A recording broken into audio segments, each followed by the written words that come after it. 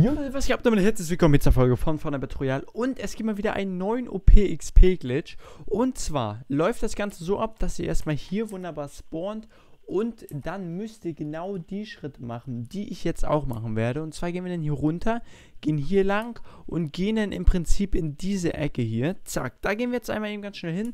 Da habe ich gerade einen ganz kurzen Leck gehabt, das macht aber nichts. Und bauen es dann ab hier einfach nur hoch, Leute. Das heißt einfach hier hochbauen, zack, zack, zack, zack, zack. Ich hoffe, meine Legs werden jetzt gleich besser, weil ich habe gerade irgendwie komische Legs gehabt. Ja, genau, okay.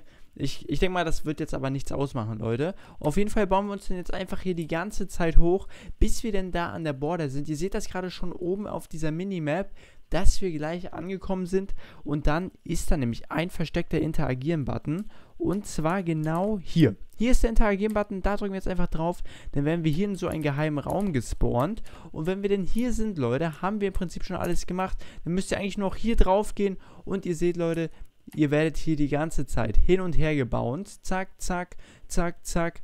Und ja, das war's eigentlich. Das ist dieser XP-Glitch. Super, super einfach, geht mega, mega schnell. Und ihr seht, ihr bekommt richtig viel XP dafür, dass er eigentlich nur rumsteht. Ihr könnt dann auch hier im Prinzip mit Autosprint gegen die Wand laufen, dann geht das Ganze vielleicht noch schneller. Das kann ich euch jetzt aber nicht sagen.